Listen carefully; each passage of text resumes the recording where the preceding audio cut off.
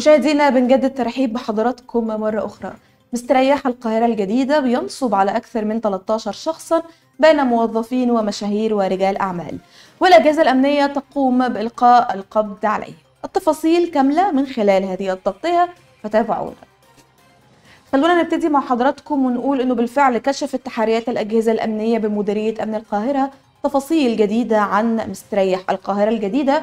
والذي استولى على ملايين الجنيهات من موظفين ورجال أعمال. بعدما طبعا زعم توظيفها في استيراد قطع غيار السيارات من الخارج. وأيضا أكدت تحريات أجهزة أمن القاهرة التي بشرها اللواء علاء بشندي مدير الإدارة العامه لمباحث القاهرة أن بالفعل المتهم يبلغ من العمر حوالي 22 عاما وقام بالاستيلاء على ملايين الجنيهات من المواطنين بينهم موظفون ورجال أعمال وأيضا أشخاص عادية تحت ذريعة استثمارها في استيراد قطع غيار السيارات من الخارج.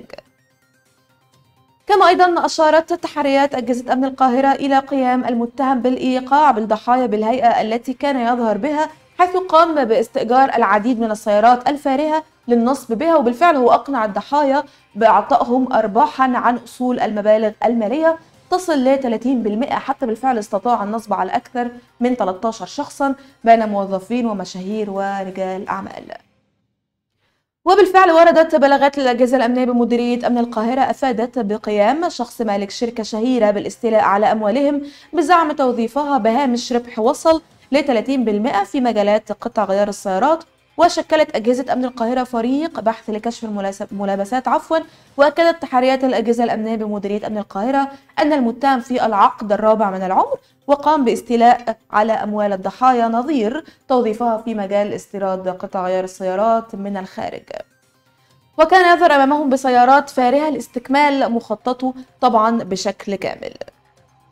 وعقب تقنين الإجراءات وإعداد الأكمنة اللازمة ألقت أجهزة أمن القاهرة القبض على المستريح ووالده وتم اقتيادهم إلى قسم شرطة التجمع الأول وتحرر المحضر اللازم وتم اتخاذ الإجراءات القانونية اللازمة واختار النيابة العامة في القاهرة لمباشرة التحقيقات.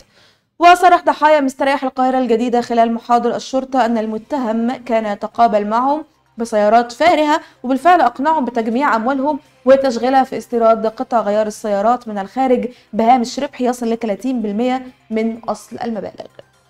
وأضاف الضحايا أن مستريح القاهرة الجديدة كان يظهر في كل مرة بسيارة مختلفة وإنه بالفعل استطاع تجميع قرابة 300 مليون جنيه من الضحايا إلى أنه اختفى فجأة ولم يظهر فقاموا طبعا بإبلاغ الشرطة. مشاهدينا الكرام إلى هنا بتكون انتهت التغطية. طبعا بنشكر حضراتكم جدا على طيب المتابعة وإلى اللقاء.